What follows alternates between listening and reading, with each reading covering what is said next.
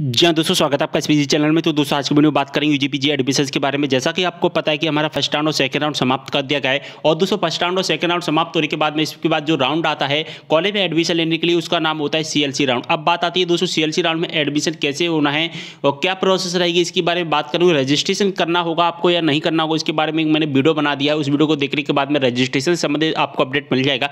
लेकिन दोस्तों, आज के इस वीडियो में हम बात करेंगे चॉइस प्लिंग के बारे में। दोस्तों, आपके तक कमेंट आ रहे थे कि हमने फ़र्स्ट राउंड और सेकंड राउंड में चॉइस प्लिंग कर लिया है। अब जो कि सीएलसी राउंड में भी हमको रजिस्टर जो चॉइस प्लिंग करना होगा या नहीं करना होगा चॉइस प्लिंग के संबंधित जो भी अपडेट है, जो भी डाउट है, वो सारे डाउट इस वीडियो के माध्यम से कंप्लीट होने वाले हैं। दोस्तों वीडियो को पूरा देख लेना और दोस्तों चॉइस प्लिंग कब से कब तक होगा, इसके बारे में आपको बताऊँगा। देखिए दोस्तों यूजी का सीएलसी राउंड सबसे पहले मैं आपको बता देता हूँ, सत्रह सितंबर से स्टार्ट होगा।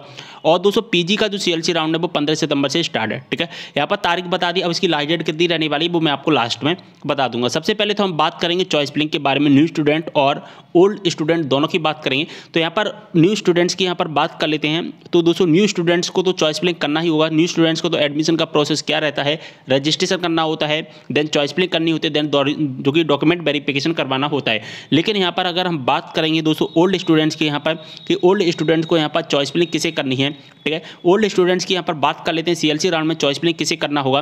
तो यहाँ पर मैं आपको बता देता हूँ, चाहे आपने फ़र्स्ट राउंड में चॉइस प्लिंग कर ली है, चाहे आपने सेकंड राउंड में भी चॉइस प्लिंग की हो, लेकिन आपका कॉलेज में नाम नहीं आया था और आप सीएलसी राउंड में पार्टिसिपेट करना चाहते हैं तो यहाँ पर चॉइस प्लिंग करनी होगी सीएलसी राउंड में। जी हाँ दोस्तों अगर आप सीएलसी राउंड में पार्टिसिपेट करना चाहते हैं तो यहाँ पर आपको चॉइस प्लिंग करनी ही होगी। भले ही आपने फ़र्स्ट राउंड में चॉइस प्लिंग कर ली थी, भले ही आपने सेकेंड राउंड में चॉइस प्लिंग कर ली हो, लेकिन यहाँ पर अगर आप चॉइस यहाँ पर सीएलसी राउंड में पार्टिसिपेट आपको करना है, यानी कि एडमिशन लेना चाहते हैं सीएलसी राउंड में तो फिर आपको यहाँ पर फिर से चॉइस प्लिंग करनी होगी। यहाँ पर चॉइस प्लिंग का कोई भी चार्ज नहीं रहता, इसलिए आप चॉइस प्लिंग कर सकते हैं, ठीक है? चॉइस प्लिंग कैसे करना है सीएलसी राउंड का मैंने वीडियो बना दिया, आप यूट्यूब पर सर्च कर सकते हैं एसबी चैनल का आपको वीडियो मिल जाएगा, ठीक है?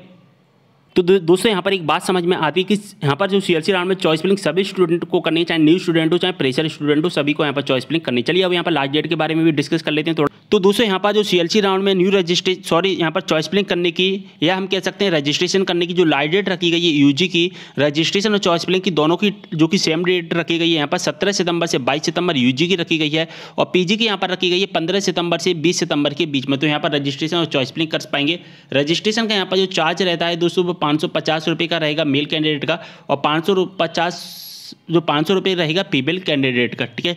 और चॉइस फिलिंग का कोई भी चार्ज नहीं रहता है, चॉइस फिलिंग का ज़ीरो ज़ीरो चार्ज रहता है। यहाँ पर मैंने आपको पूरी अपडेट दे दी है चॉइस फिलिंग से संबंधित, ठीक है?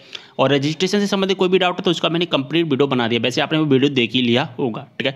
तो यहाँ पर हम इसी वीडियो को समाप्त करते हैं। इंस्टाग्राम पर फॉलो नहीं किया फॉलो कर लेना। जो भी आपके डाउट इंस्टाग्राम पर डीएम के द्वारा पूछ सकते हैं, साथ ही पर्सनली जुड़ना चाहते हैं तो इंस्टाग्राम पर ज़्यादा ज़्यादा फॉलो कर लेना है। चलिए वीडियो का इंपैक्ट करते समय मिलते नेक्स्ट वीडियो के साथ। तब तक ले बाय